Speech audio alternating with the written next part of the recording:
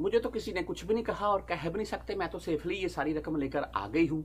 अस्सलाम वालेकुम सऊदी अरब से लाइफ हूँ, लेकिन हरीम शाह की एक वीडियो वायरल है, यहाँ पर आपको दिखा भी देता हूँ। इसके मतलब एक दो बातें आप साथ शेयर कर दूँगा, वीडियो एंड तक ज़रूर देखते जाइएगा और आपको मज़ा आएगा कन्फर्म बात है। अच्छा दूसरी इस वीडियो की मेन पॉइंट वाली बात तो यही थी जो मैं आपको बता चुका हूँ जी। मुझे तो किसी ने कुछ नहीं कहा, मैं तो सेफली यहाँ पर ये रकम लेकर पहुँच चुकी हूँ।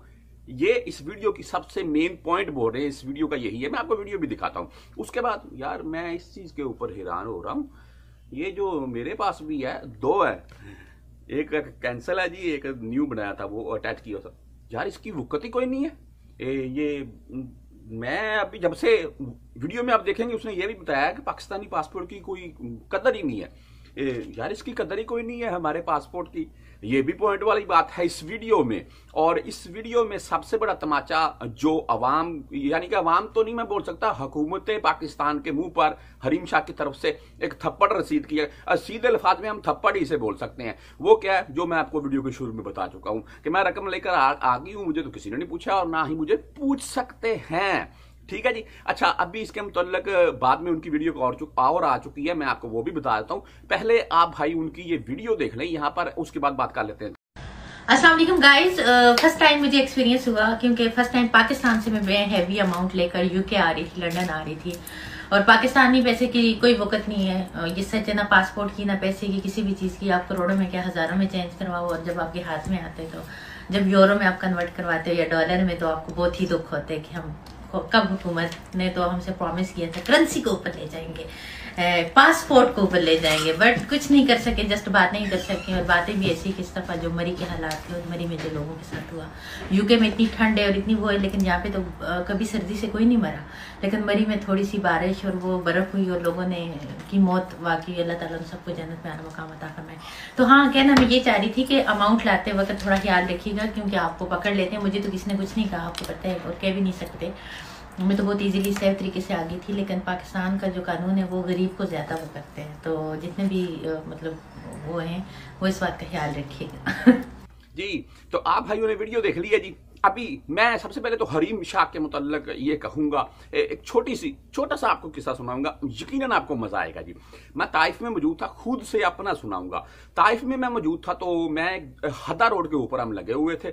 मैं ना एक तरफ़ जा रहा था, यानी कि वहाँ पर भी काम था तो वहाँ पर ना नीचे एक तो शीशे कैफ़े था, साथ में मताम भी था।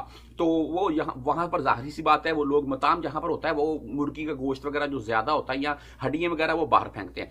तो बंदर आते थे वहाँ पर ताइफ में आपको पता ही बंदर बहुत है। तो वो उठाकर खाते थे। अच्छा बहरहाल मैं वहाँ पर गया। सामने दीवार के ऊपर एक बंदरिया बैठी हुई थी। बंदरिया। ए, अच्छा मैं जब देखा है ना मैंने उसको तो मुझे वो ऐसा लगा जैसे वो शीशा देख रखी है। उसके हाथ में शीशा है। मैं खड़ा हो गया उसको देखने लग गया कि यार इसके हाथ में क्या है? जब मैंने भाई गौर किया ना तो उसके हाथ में आप यकीन करें, एक अखबार का पीस था और उस अखबार के पीस के ऊपर एक लेडी की पिक्चर बनी हुई थी।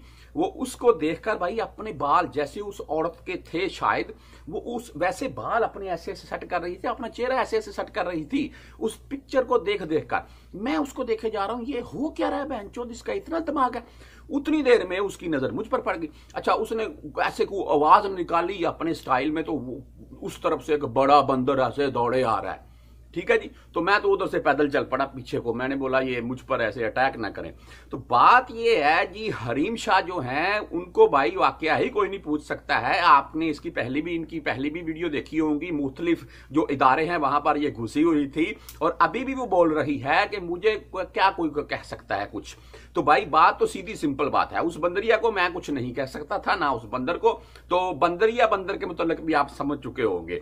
अभी बात कर लेते हैं, हमारी हुकूमत पाकिस्तान के मुतलक हाँ मैं बोलता हूँ, इसके ऊपर एक्शन ले लिया गया है। जी, ठीक है? अभी ये इसके मुतलक कार्रवाई भी होगी, जब ये पाकिस्तान में जाएँगी, इनसे अच्छी खासी पूछगूछ भी होगी। लेकिन जो ये वीडियो वायरल हो चुकी है और ये जो रकम लेकर पहुँच चुकी है वहाँ पर, इसके मतलब क्या कहा जाएगा? अभी इनकी जो न्यू वीडियो, इसके रिएक्शन में आ चुकी है, जब इन्हें पता चला है कि वो वीडियो मेरी काफ़ी वायरल हो चुकी है तो फिर बाद में ज़ाहिर सी बात है, चोरी करने के बाद कौन बोलता है, मैं चोर हूँ? कोई भी नहीं बोलता है।